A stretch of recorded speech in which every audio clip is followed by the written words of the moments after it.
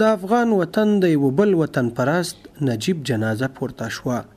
مینه وال او خپلوان یې پرله پسې لپې لپې اوښکې تویوي. نجیب ترکه د تېرې جمعې په ورځ د جلال اباد په چکنوریو سیمه کې یوې سراچې وواهه او له همغې راهیسې په یوه ځايي روغتون کې بستر و، خو د سې شنبې په ورځ یې په روغتون کې د سختو ټپونو له امله ساه ورکړه. څو څو ورځې موږ دلته ورسره یو ځای ولو په شفاخانه کې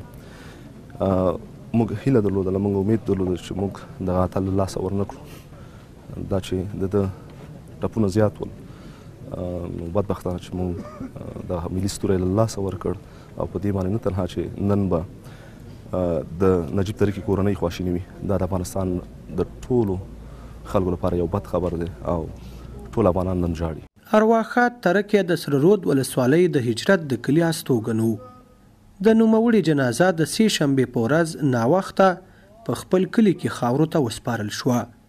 د مرحوم ترکي مړينې د هغه خپلوان او مينه وال سخت خوابدي کړي. د دې ملګري د دې مینوال دا د ولس خلک د دې دا د کرکټ ملګري د دې به یو الله ته پته نو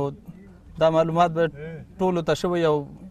ان شاء الله پاینده کې به مرته وشي د دوی تشب هیڅوک نشي ډکولای زه خو خپل په دې باندې ډیر زورېږم چې خو ځواني مرګ دومره د مرګ وخت نه بل د خپل اولادونو مخ کې د موټر وهلی هغه ښځه او بچیانو باندې هغه به ما ټول عمر ځوري هغوی ته به مې یو ډېر غټ درد پاتې سي د مرحوم ترک یوه جنازه د جلال آباد په شیرزي لوبغاړي کې او بله په درونټه کې وشوه. ارواښاد ترک د کرکټ د افغان ملي لوبډلې چټک توپ وهونکی و او په شل اوریزو لوبو کې لوبېده چې لومړۍ شل اوریزه لوبه یې په دوه زره او څوارلس کال کې د بنګله دیش خلاف په ډاکا ښار کې کړې وه او وروستۍ شل اوریزه لوبه یې هم همدغلته تېر کال وه. تره کي پر بنګله دیش سربېره د متحده عربي اماراتو، ایرلنډ، زمبابوې او هانګ کانګ سره هم لوبې کړي.